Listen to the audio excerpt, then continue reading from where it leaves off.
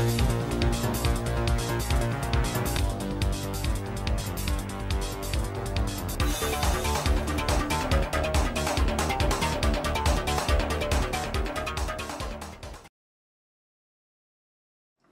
War in the Air Chapter 8 A World at War Part 1 It was only very slowly that Bert got hold of this idea that the whole world was at war, that he formed any image at all of the crowded countries south of these arctic solitudes, stricken with terror and dismay as these newborn aerial navies swept across their skies. He was not used to thinking of the world as a whole, but as a limitless hinterland of happenings beyond the range of his immediate vision. War in, his imagination was something, a source of news and emotion, that happened in a restricted area, called the seat of war. But now the whole atmosphere was the seat of war, and every land a cockpit. So closely had the nations raced along the path of research and invention, so secret and yet so parallel had been their plans and acquisitions, that it was within a few hours of the launching of the first fleet in Franconia that an Asiatic armada beat its westward way across, high above the marvelling millions in the plain of the Ganges. But the preparations of the Confederation of Eastern Asia had been on an altogether more colossal scale than the German. With this step, said Tan Ting Xiang, we overtake the West. We recover the peace of the world that those barbarians have destroyed. Their secrecy and swiftness and inventions had far surpassed those of the Germans, and where the Germans had had a hundred men at work, the Asiatics had ten thousand. There came to their great aeronautic parks at Chinsifu and Xingyan, by the monorails that now laced the whole surface of China, a limitless supply of skilled and able workmen. Workmen far above the average European in industrial efficiency.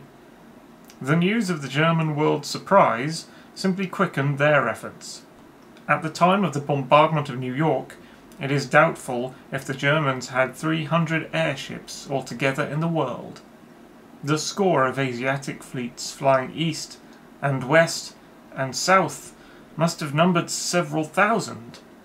Moreover, the Asiatics had a real fighting flying machine, the Niao, as they were called, a light but quite efficient weapon, infinitely superior to the German Drachenflieger. Like that, it was a one-man machine, but it was built very lightly of steel and cane and chemical silk, with a transverse engine and a flapping side wing. The aeronaut carried a gun firing explosive bullets loaded with oxygen, and in addition, and true to the best tradition of Japan, a sword. Mostly they were Japanese, and it is characteristic that from the first it was contemplated that the aeronaut should be a swordsman. The wings of these flyers had bat-like hooks forward, by which they were to cling to their antagonist's gas chambers while boarding him. These light flying machines were carried with the fleets, and also sent overland or by sea to the front with the men. They were capable of flights of from two to five hundred miles according to the wind. So, hard upon the uprush of the first German air fleet, these Asiatic swarms took to the atmosphere.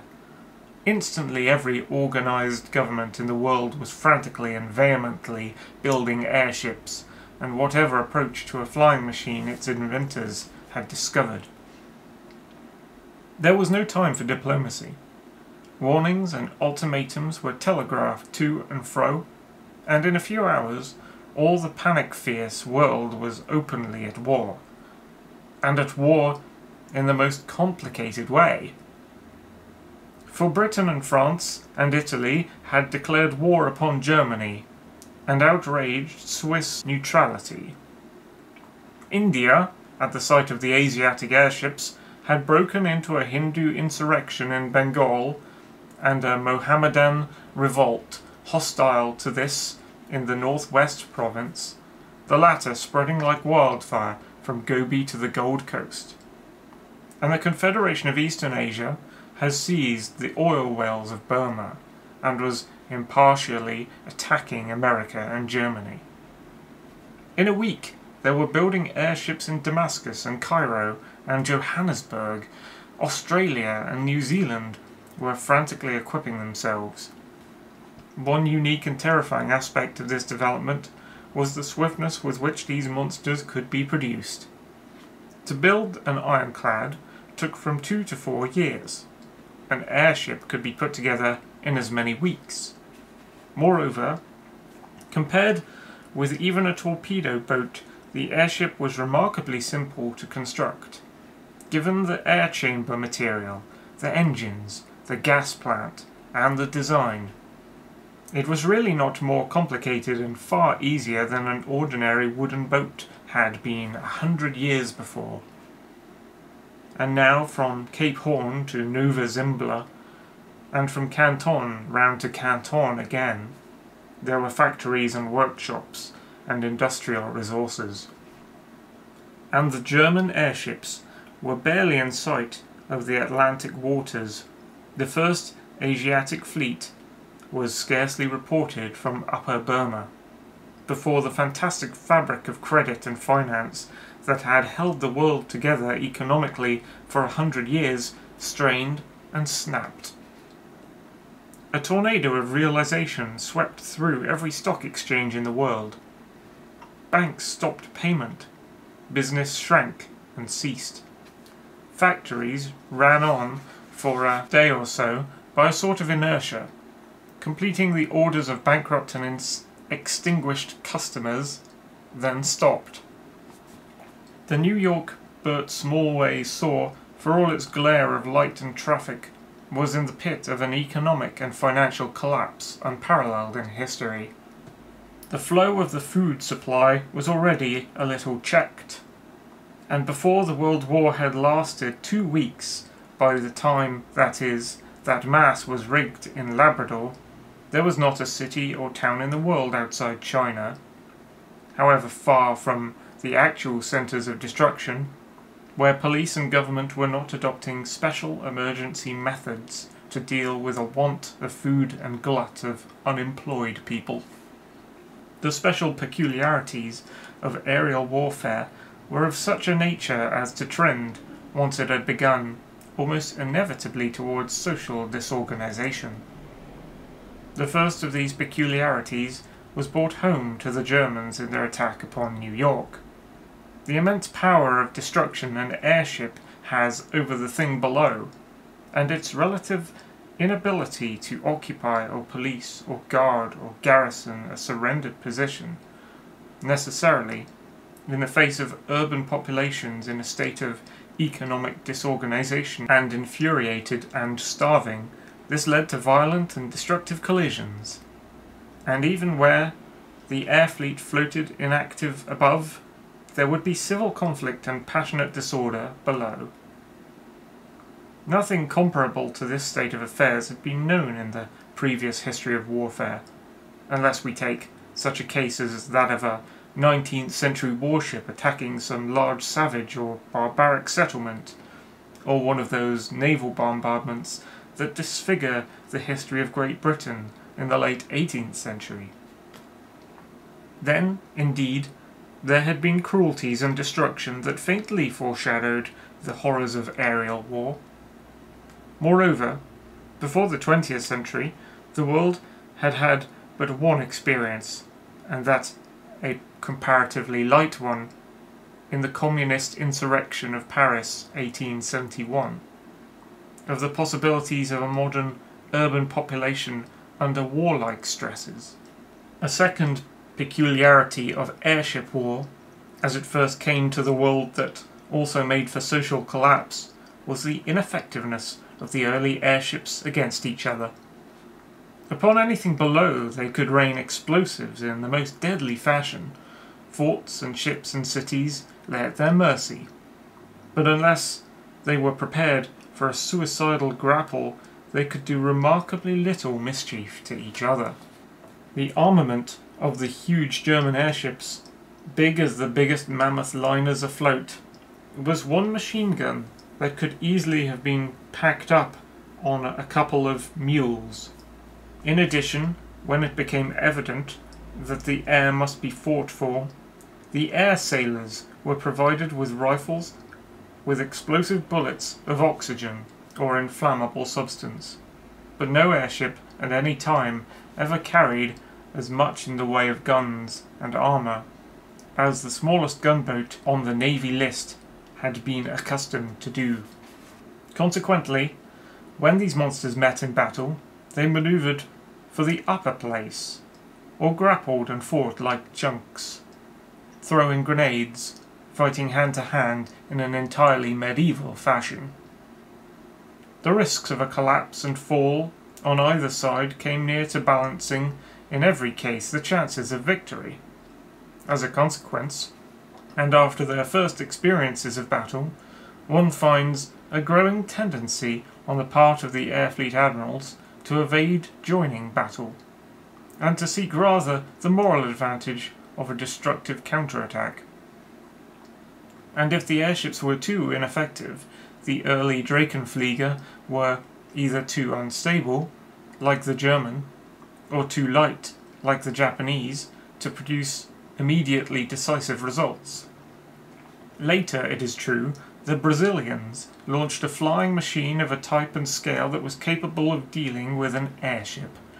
But they built only three or four, they operated only in South America, and they vanished from history untraceably in the time when world bankruptcy put a stop to all further engineering production on any considerable scale. The third peculiarity of aerial warfare was that it was at once enormously destructive and entirely indecisive. It had this unique feature that both sides lay open to punitive attack. In all previous forms of war, both by land and sea, the losing side was speedily unable to raid its antagonist's territory and the communications. One fought on our front, and behind that front the winner's supplies and resources, his towns and factories and capital, the peace of his country, were secure. If the war was a naval one, you destroyed your enemy's battle fleet and then blockaded his ports secured his coaling stations, and hunted down any stray cruisers that threatened your ports of commerce. But to blockade and watch a coastline is one thing, to blockade and watch the whole surface of a country is another. And cruisers and privateers are things that take long to make, that cannot be packed up and hidden and carried unostentatiously from point to point. In aerial war, the stronger side, even supposing it destroyed the main battle fleet of the weaker, had then either to patrol and watch, or destroy every possible point at which he might produce another, and perhaps a novel and more deadly form of flyer. It meant darkening his air with airships. It meant building them by the thousand, and making aeronauts by the hundred thousand. A small uninflated airship could be hidden in a railway shed, in a village street, in a wood. A flying machine is even less conspicuous. And in the air are no streets, no channels, no point where one can say of an antagonist, if he wants to reach my capital, he must come by here. In the air, all directions lead everywhere. Consequently, it was impossible to end a war by any of the established methods. A, having outnumbered and overwhelmed B, hovers, a thousand airships strong, over his capital, threatening to bombard it unless B submits. B replies by wireless telegraphy that he is now in the act of bombarding the chief manufacturing city of A by means of three raider airships. A denounces B's raiders as pirates and so forth, bombards B's capital and sets off to hunt down B's warships, while B, in a state of passionate emotion and heroic unconquerableness, sets to work amidst his ruins, making fresh airships and explosives for the benefit of A. The war had become perforce a universal guerrilla war, a war inextricably involving civilians and homes and all the apparatus of social life. These aspects of aerial fighting took the world by surprise. There had been no foresight to deduce these consequences. If there had been, the world would have arranged for a universal peace conference in 1900. But mechanical invention had gone faster than intellectual and social organization. And the world, with its silly old flags, its silly, unmeaning tradition of nationality, its cheap newspapers and cheaper passions and imperialisms, its base commercial motives and habitual insincerities and vulgarities, its race lies and conflicts, was taken by surprise. Once the war began, there was no stopping it. The flimsy fabric of credit that had grown with no man foreseeing, and that had held those hundreds of millions in an economic interdependence that no man clearly understood, dissolved in panic. Everywhere went the airships, dropping bombs, destroying any hope of a rally. And everywhere below were economic catastrophe, starving workless people, rioting, and social disorder.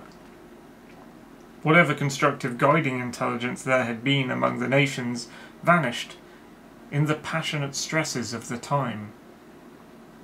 Such newspapers and documents and histories as survive from this period all tell one universal story of towns and cities with the food supply interrupted and their streets congested with starving, unemployed, of crises in administration and states of siege, of provisional governments and councils of defence, and, in the cases of India and Egypt, insurrectionary committees taking charge of the rearming of the population, and the making of batteries and gun pits, of the vehement manufacture of airships and flying machines.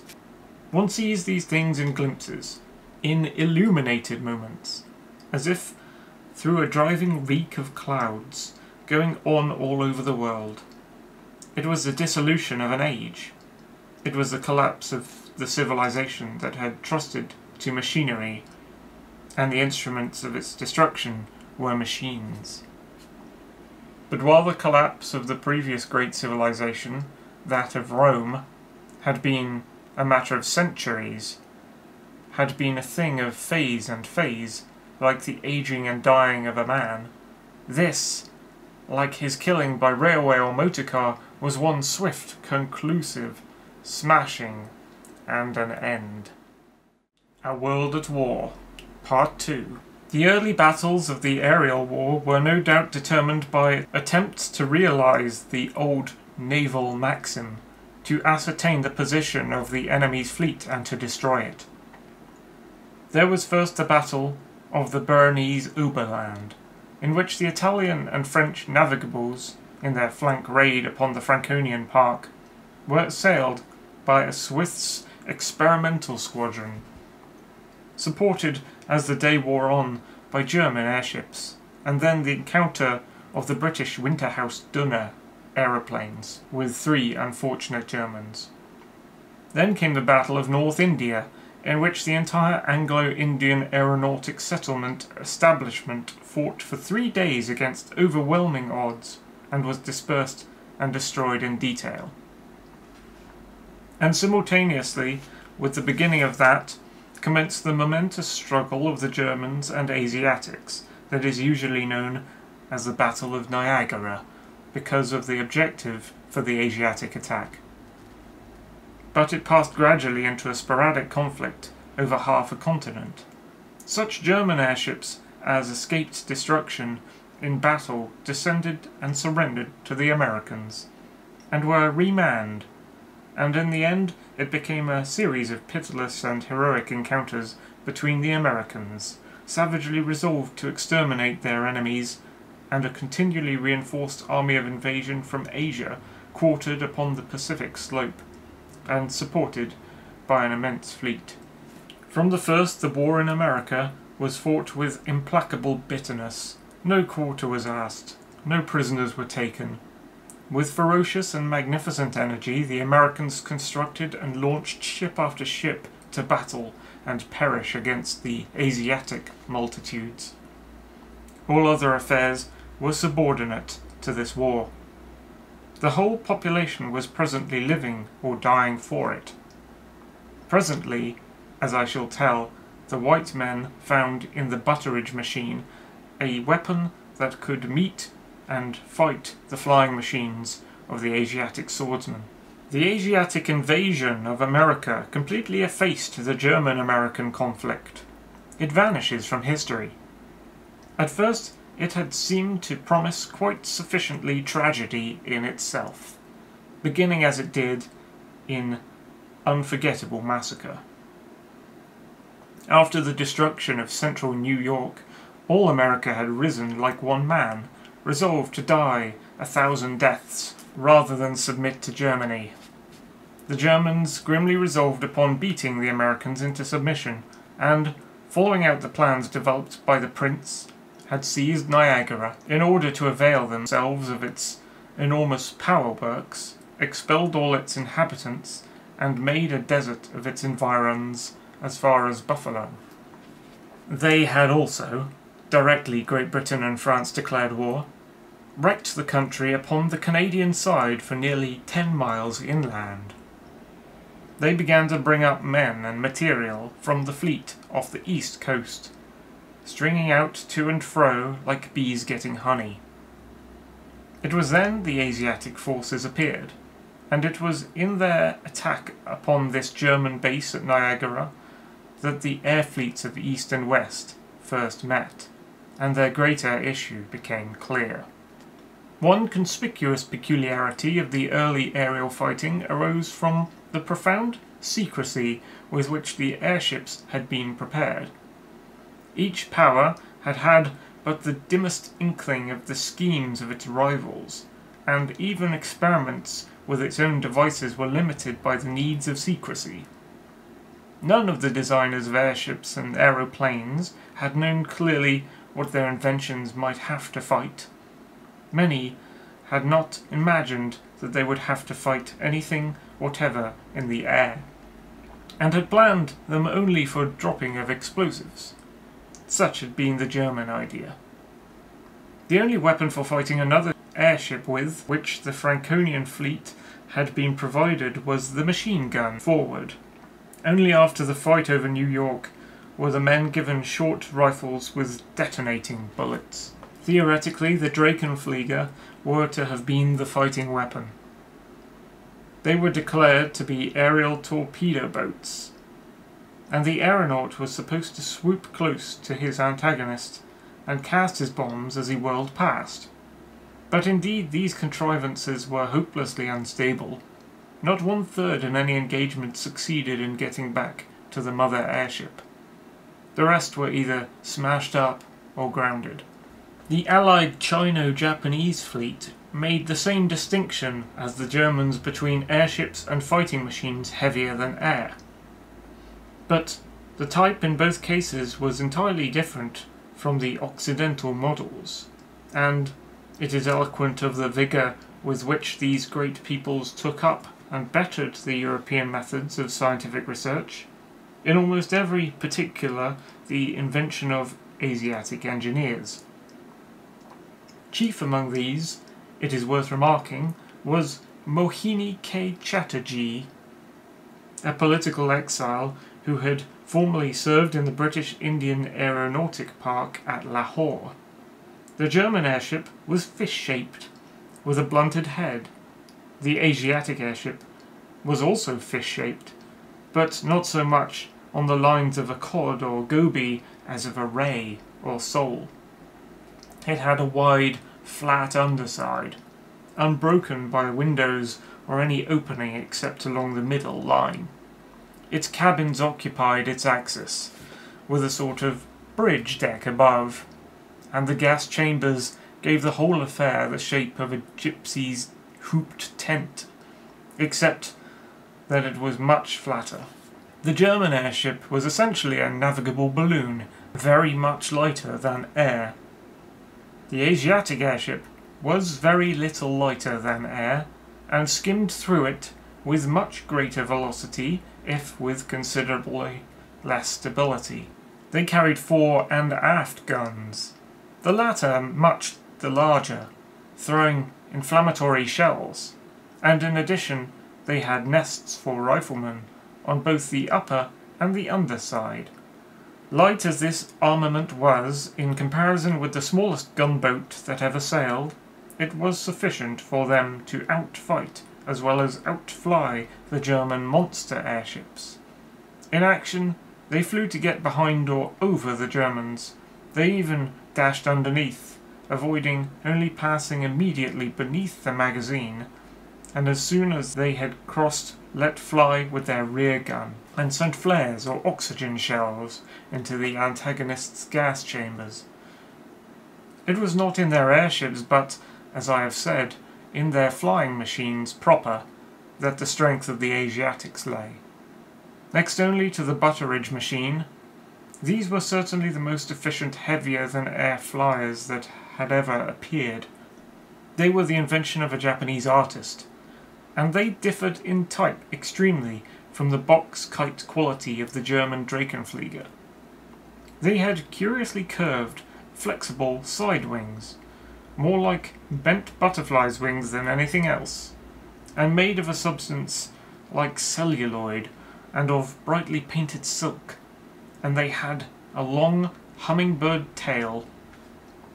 At the forward corner of the wings were hooks, rather like the claws of a bat, by which the machine could catch and hang and tear at the walls of an airship's gas chamber. The solitary rider sat between the wings above a transverse explosive engine, an explosive engine that differed in no essential particular from those in use in the light motor bicycles of the period.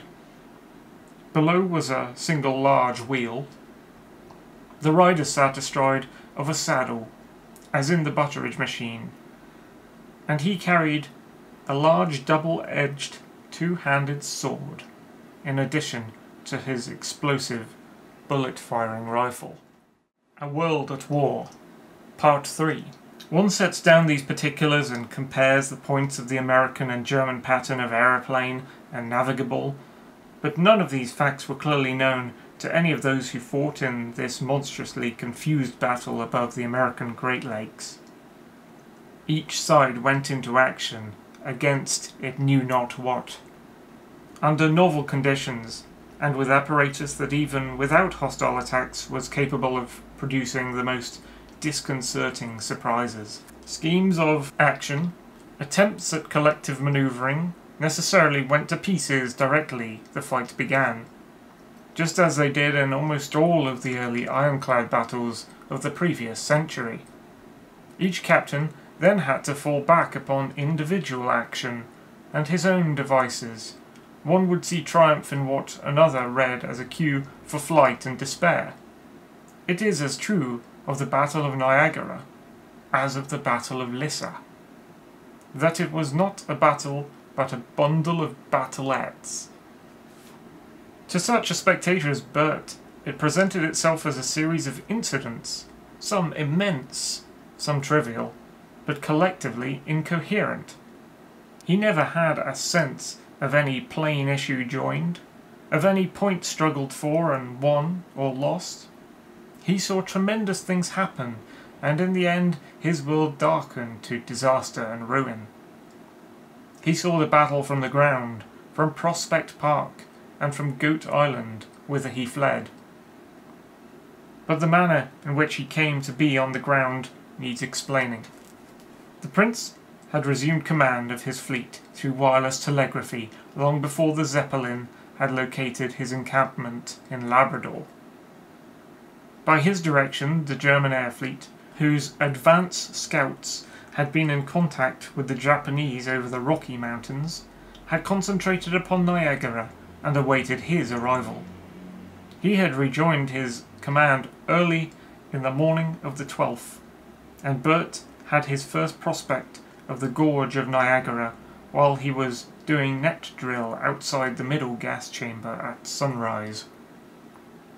The Zeppelin was flying very high at the time, and far below he saw the water in the gorge, marbled and froth, and then away to the west, the great crescent of the Canadian Fall shining, flickering, and foaming in the level sunlight, and sending up a deep, incessant thudding rumble to the sky. The air fleet was keeping station in an enormous crescent, with its horns pointing southwestward, a long array of shining monsters, with tails rotating slowly, and German ensigns now trailing from their bellies aft of their Marconi pendants. Niagara City was still largely standing then, albeit its streets were empty of all life. Its bridges were intact, its hotels and restaurants still flying flags and inviting sky signs, its power stations running. But about it, in the country, on both sides of the gorge, might have been swept by a colossal broom. Everything that could possibly give cover to an attack upon the German position at Niagara had been levelled as ruthlessly as machinery and explosives could contrive. Houses blown up and burnt, woods burnt, fences and crops destroyed. The monorails had been torn up, and the roads in particular cleared of all possibility of concealment or shelter. Seen from above, the effect of this wreckage was grotesque. Young woods had been destroyed wholesale by dragging wires, and the spoilt saplings, smashed or uprooted, lay in swathes like corn after the sickle.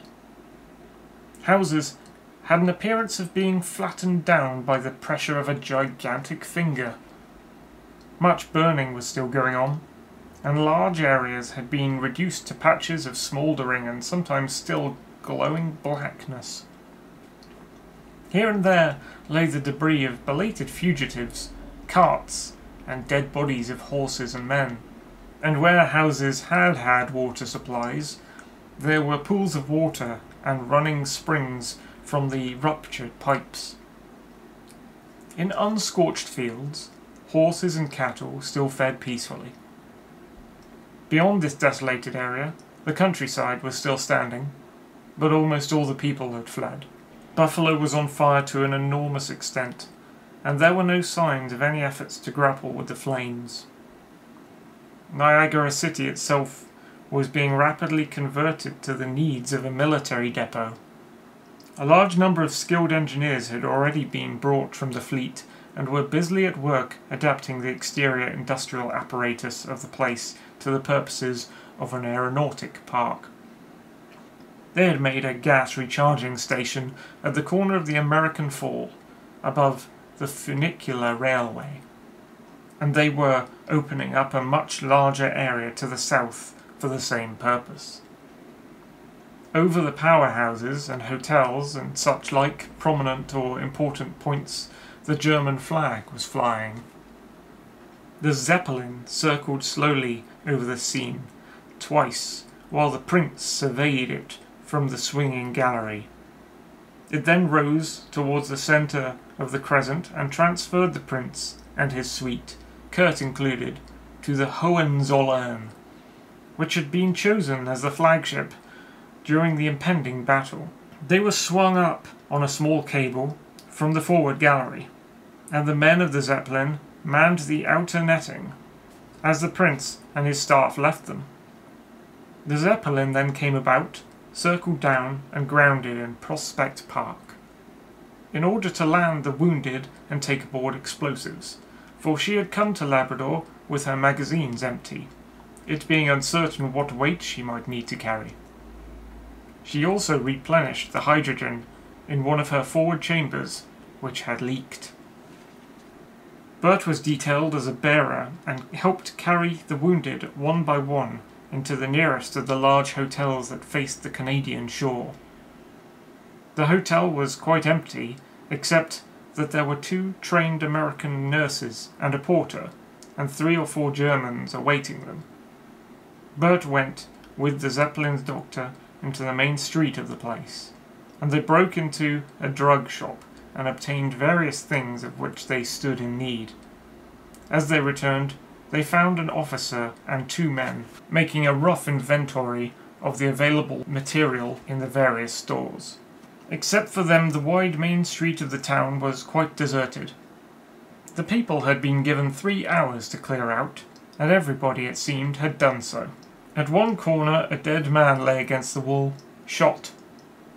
Two or three dogs were visible up the empty vista, but towards its river end, the passage of a string of monorail cars broke the stillness and the silence. They were loaded with hose and were passing to the train full of workers who were converting Prospect Park into an airship dock. Bert pushed a case of medicine balanced on a bicycle taken from an adjacent shop to the hotel, and then he was sent to load bombs into the Zeppelin magazine, a duty that called for elaborate care.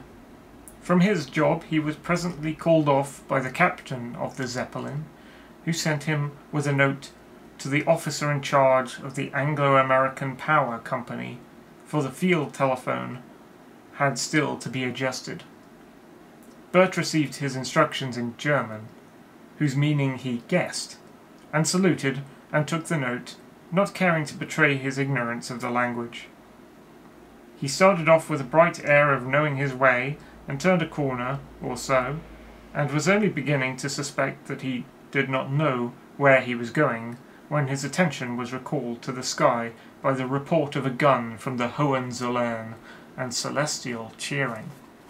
He looked up and found the view obstructed by the houses on either side of the street. He hesitated, and then curiosity took him back towards the bank of the river. Here his view was inconvenienced by trees, and it was with a start that he discovered the Zeppelin, which he knew had still a quarter of her magazines to fill, was rising over Goat Island. She had not waited for her complement of ammunition. It occurred to him that he was left behind. He ducked back among the trees and bushes until he felt secure from any afterthought on the part of the Zeppelin's captain. Then his curiosity to see what the German air fleet faced overcame him, and drew him at last halfway across the bridge to Goat Island. From that point he had nearly a hemisphere of sky, and got his first glimpse of the Asiatic airships low in the sky above the glittering tumults of the upper rapids. They were far less impressive than the German ships. He could not judge the distance, and they flew edgeways to him so as to conceal the broader aspect of their bulk. Bert stood there in the middle of the bridge, in a place that most people who knew it remembered as a place populous with sightseers and excursionists. And he was the only human being in sight there. Above him, very high in the heavens, the contending air fleets manoeuvred. Below him, the river seethed like a sluice towards the American fall. He was curiously dressed. His cheap blue serge trousers were thrust into German airship rubber boots, and on his head he wore an aeronaut's white cap that was a trifle too large for him. He thrust that back to reveal his staring little cockney face, still scarred upon the brow. Gaw! he whispered. He stared. He gesticulated. Once or twice he shouted and applauded. Then at a certain point Terror seized him, and he took to his heels in the direction of Goat Island. A World at War, Part 4. For a time after they were in sight of each other, neither fleet attempted to engage. The Germans numbered 67 great airships, and they maintained the crescent formation at a height of nearly 4,000 feet. They kept a distance of about one and a half lengths so that the horns of the crescent were nearly 30 miles apart. Closely in tow of the airships of the extreme squadrons on either wing were about 30 Drachenflieger, ready manned but these were too small and distant for Bert to distinguish. At first, only what was called the Southern Fleet of the Asiatics was visible to him. It consisted of 40 airships, carrying altogether nearly 400 one-man flying machines upon their flanks. And for some time it flew slowly, and at a minimum distance of perhaps a dozen miles from the Germans, eastward across their front. At first Bert could distinguish only the greater bulks. Then he perceived the one-man machines as a multitude of very small objects drifting like motes in the sunshine about and beneath the larger shapes. Bert saw nothing then of the second fleet of the Asiatics, though probably that was coming into sight of the Germans at the time in the northwest. The air was very still, the sky almost without a cloud, and the German fleet had risen to an immense height, so that the airships seemed no longer of any considerable size. Both ends of their crescent showed plainly. As they beat southward, they passed slowly between Bert and the sunlight, and became black outlines of themselves. The Drachenflieger appeared as little flecks of black on either wing of this aerial armada. The two fleets seemed in no hurry to engage. The Asiatics went far away to the east, quickening their pace and rising as they did so, and then tailed out into a long column and came flying back, rising towards the German left. The squadrons of the latter came about, facing this oblique advance, and suddenly little flickerings and a faint, crepitating sound told that they had opened fire. For a time no effect was visible to the watcher on the bridge. Then, like a handful of snowflakes, the Drachenflieger swooped to the attack, and a multitude of red specks whirled up to meet them. It was to Bert's sense not only enormously remote, but singularly inhuman. Not four hours since he had been on one of those very airships, and yet they seemed to him now not gas bags carrying men, but strange sentient creatures that moved about and did things with a purpose of their own. The flight of the Asiatic and German flying machines joined and dropped earthward, became like a handful of white and red rose petals flung from a distant window, grew larger, until Bert could see the overturned ones spinning through the air, and were hidden by great volumes of dark smoke that were rising in the direction of Buffalo. For a time they were all hidden. Then two or three white and a number of red ones rose again into the sky, like a swarm of big butterflies, and circled fighting and drove away out of sight again towards the east. A heavy report recalled Bert's eyes to the zenith, and behold, the great crescent had lost its dressing and burst into a disorderly long cloud of airships. One had dropped halfway down the sky.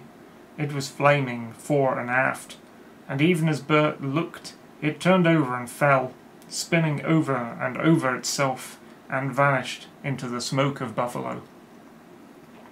Bert's mouth opened and shut, and he clutched tighter on the rail of the bridge. For some moments they seemed long moments. The two fleets remained without any further change, flying obliquely towards each other, and making what came to Bert's ears as a midget uproar. Then suddenly, from either side, airships began dropping out of alignment, smitten by missiles. He could neither see nor trace. The string of Asiatic ships swung round and either charged into or over, it was difficult to say from below, the shattered line of the Germans, who seemed to open out to give way to them. Some sort of manoeuvring began, but Bert could not grasp its import. The left of the battle became a confused dance of airships. For some minutes up there, the two crossing lines of ships looked so close it seemed like a hand-to-hand scuffle in the sky.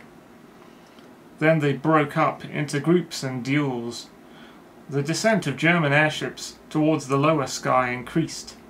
One of them flared down and vanished far away in the north.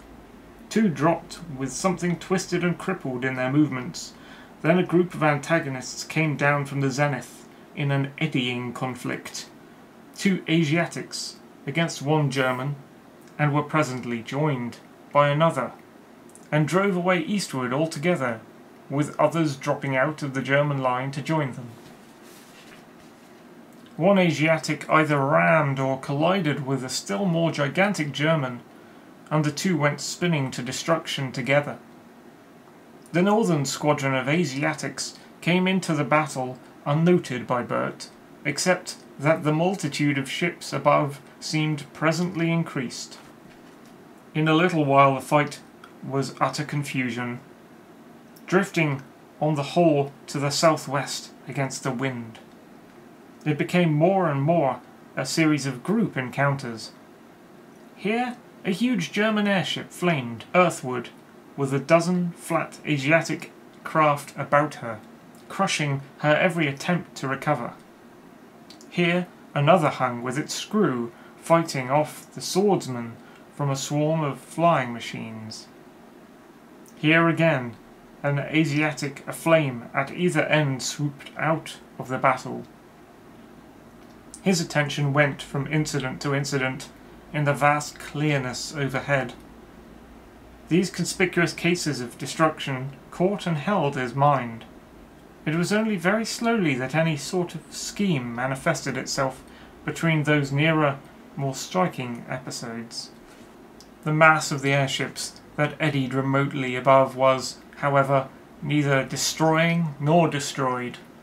The majority of them seemed to be going at full speed and circling upward for position, exchanging ineffectual shots as they did so. Very little ramming was essayed after the first tragic downfall of Rama and Rand, and whatever attempts at boarding were made were invisible to Bert. There seemed, however, a steady attempt to isolate antagonists, to cut them off from their fellows and bear them down causing a perpetual sailing back and interlacing of these shoaling bulks. The greater numbers of the Asiatics and their swifter healing movements gave them the effect of persistently attacking the Germans. Overhead, and evidently endeavouring to keep itself in touch with the works of Niagara, a body of German airships drew itself together into a compact phalanx and the Asiatics became more and more intent upon breaking this up. He was grotesquely reminded of fish in a fish pond, struggling for crumbs. He could see puny puffs of smoke and the flash of bombs, but never a sound came down to him.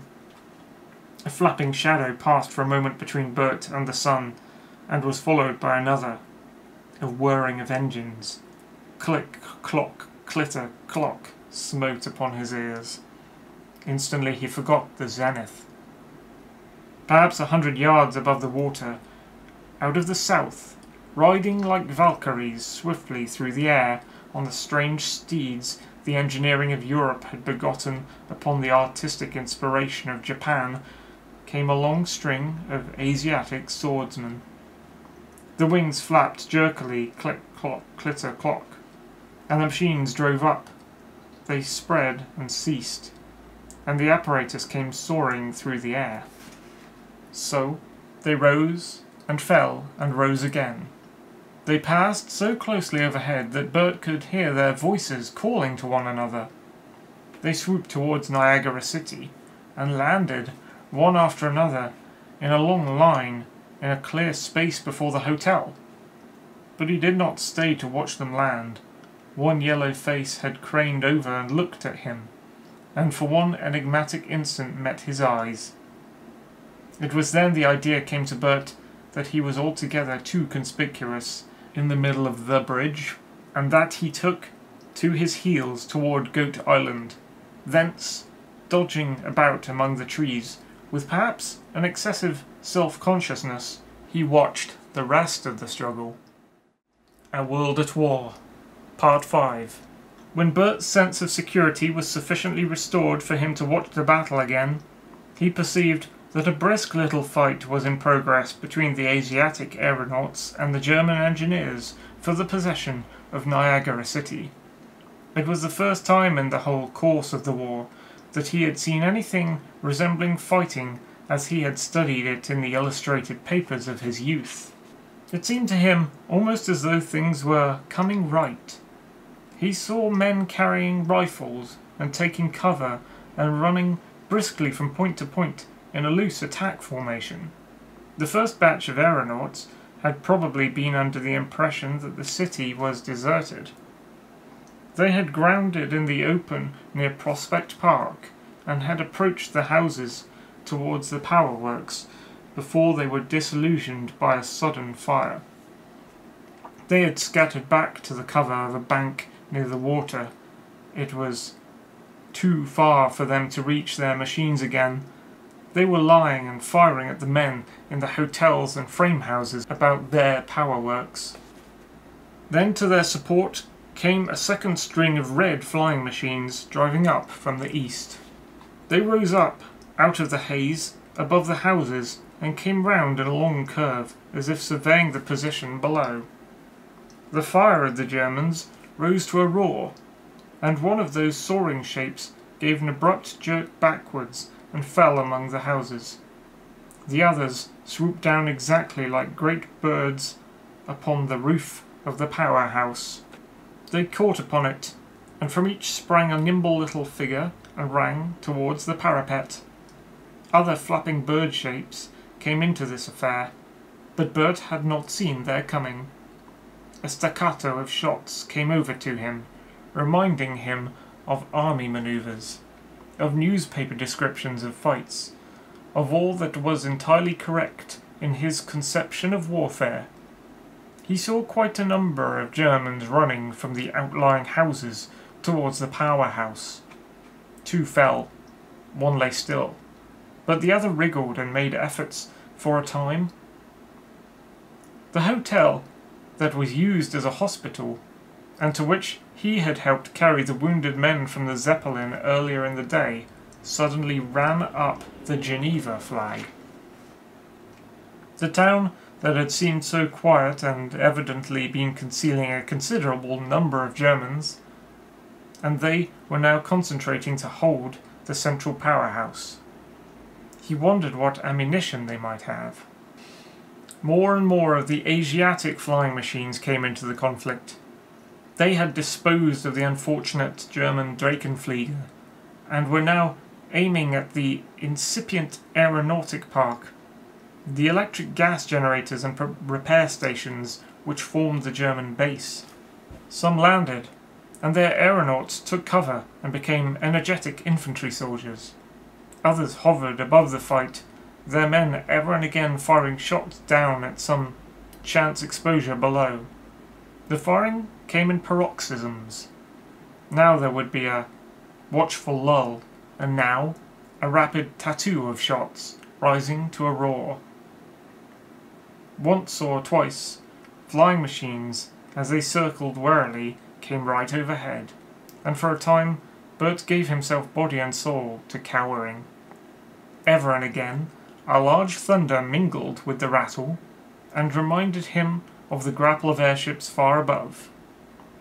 But the nearer fight held his attention. Abruptly something dropped from the zenith, something like a barrel or a huge football. Crash! It smashed with an immense report. It had fallen among the grounded Asiatic aeroplanes that lay among the turf and flower beds near the river. They flew in scraps and fragments. Turf, trees, and gravel leapt and fell. The aeronauts still lying along the canal bank were thrown about like sacks. Cat's paws flew across the foaming water. All the windows of the hotel hospital that had been shiningly reflecting blue sky and airships at the moment before became vast black stars. Bang! A second followed. Bert looked up and was filled with a sense of a number of monstrous bodies swooping down, coming down on the whole affair like a flight of bellying blankets, like a string of vast dish covers. The central tangle of the battle above was circling down as if to come into touch with the powerhouse fight. He got a new effect of airships altogether, as vast things coming down upon him, growing swiftly larger and larger, and more overwhelming, until the houses over the way seemed small, the American rapid narrow, the bridge flimsy, the combatants infinitesimal. As they came down, they became audible as a complex of shootings and vast creakings and groanings and beatings and throbbings and shouts and shots. The foreshortened black eagles at the four ends of the Germans had an effect of actual combat of flying feathers. Some of these fighting airships came within 500 feet of the ground. Bert could see men on the lower galleries of the Germans firing rifles, could see Asiatics clinging to the ropes, saw one man in aluminium diver's gear fall flashing headlong into the waters above Goat Island. For the first time he saw the Asiatic airships closely. From this aspect, they reminded him more than anything else of colossal snowshoes. They had a curious patterning in black and white, in forms that reminded him of the engine turned cover of a watch. They had no hanging galleries, but from little openings on the middle line peeped out men and the muzzles of guns. So, driving in long, descending and ascending curves, these monsters wrestled and fought. It was like clouds fighting, like puddings trying to assassinate each other. They whirled and circled about each other, and for a time threw Goat Island and Niagara into a smoky twilight, through which the sunlight smote in shafts and beams. They spread and closed and spread and grappled and drove round over the rapids, and two miles away or more into Canada, and back over the falls again.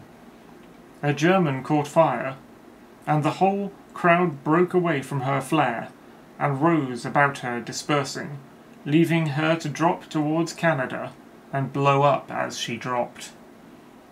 Then, with renewed uproar, the others closed again. Once, from the men in Niagara City came a sound like an ant hill cheering, Another German burnt, and one, badly deflated by the prow of an antagonist, flopped out of action southward. It became more and more evident that the Germans were getting the worst of the unequal fight. More and more obviously were they being persecuted. Less and less did they seem to fight with any object other than escape. The Asiatics swept by them and above them, ripped their bladders, set them alight, picked off their dimly seen men in diving clothes who struggled against fire and tear with fire extinguishers and silk ribbons in the inner netting. They answered only with ineffectual shots. Thence the battle circled back over Niagara, and then suddenly the Germans, as if at preconcerted signal, broke and dispersed, going east, west, north, and south in open and confused flight. The Asiatics, as they realized this, rose to fly above them and after them. Only one little knot of four Germans and perhaps a dozen Asiatics remained fighting about the Hohenzollern and the Prince as he circled in a last attempt to save Niagara. Round they swooped once again over the Canadian Fall, over the waste of waters eastward, until they were distant and small, and then round and back, hurrying, bounding, swooping towards the one gaping spectator. The whole struggling mass approached very swiftly, growing rapidly larger, and coming out black and featureless against the afternoon sun and above the blinding welter of the upper rapids. It grew like a storm cloud until once more it darkened the sky. The flat Asiatic airships kept high above the Germans and behind them, and fired unanswered bullets into their gas chambers and upon their flanks. The one-man flying machines hovered and alighted like a swarm of attacking bees. Nearer they came, and nearer, filling the lower heaven. Two of the Germans swooped and rose again, but the Hohenzollern had suffered too much for that. She lifted weakly, turned sharply as if to get out of the battle, burst into flames fore and aft, swept down to the water, splashed into it obliquely, and rolled over, and over, and came downstream, rolling and smashing and writhing like a thing alive, halting and then coming on again, with her torn and bent propeller still beating the air. The bursting flames spluttered out again in clouds of steam. It was a disaster gigantic in its dimensions. She lay across the rapids like an island, like tall cliffs, tall cliffs that came rolling, smoking, and crumpling, and collapsing, advancing with a sort of fluctuating rapidity upon Bert. One Asiatic airship, it looked to Bert from below like three hundred yards of pavement, whirled back and circled two or three times over that great overthrow. And half a dozen crimson flying machines danced for a moment, like great midges in the sunlight, before they swept on after their fellows. The rest of the fight had already gone over the island, a wild crescendo of shots and yells and smashing uproar. It was hidden from Bert now by the trees of the island, and forgotten by him in the nearer spectacle of the huge advance of the defeated German airship. Something fell with a mighty smashing and splintering of boughs unheeded behind him. It seemed for a time that the Hohenzollern must needs break her back upon the parting of the waters. And then for a time her propeller flopped and frothed in the river and thrust the mass of buckling, crumpled wreckage towards the American shore. Then the sweep of the torrent that foamed down to the American fall quarter, and in another minute the immense mass of deflating wreckage, with flames spurting out in three new places, had crashed against the bridge that joined Goat Island and Niagara City, and forced a long arm, as it were, in a heaving tangle under the central span. Then the middle chambers blew up with a loud report, and in another moment the bridge had given way, and the main bulk of the airship, like some grotesque cripple in rags, staggered, flapping and waving flambeau to the crest of the fall, and hesitated there, and vanished in a desperate suicidal leap. Its detached fore end remained jammed against that little island, Green Island it used to be called, which forms the stepping stone between the mainland and Goat Island's patch of trees. Bert followed this disaster from the parting of the waters to the bridgehead. Then, regardless of cover, regardless of the Asiatic airship hovering like a huge house roof without walls above the suspension bridge, he sprinted along towards the north and came out for the first time upon that rocky point by Luna Island that looks sheer down upon the American fall.